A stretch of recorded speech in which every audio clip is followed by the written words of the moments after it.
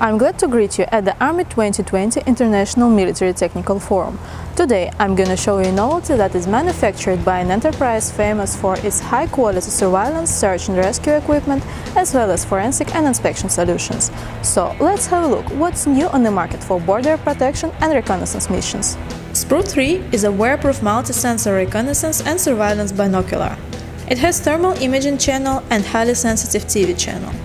Due to its rangefinder and GPS module, the client receives a comprehensive reconnaissance device.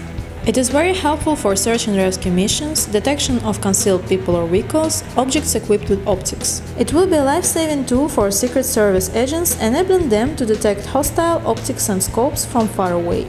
With this device, you will be able to detect a vehicle as far as 3200 meters away. A human target can be detected as far as 1 kilometer. Early detection is better protection. The binocular has 7-fold digital zoom. You will be able to recognize the person from the distance of 300 meters and a car from about 1 kilometer away from you. Battery life is not less than 3 hours before recharging.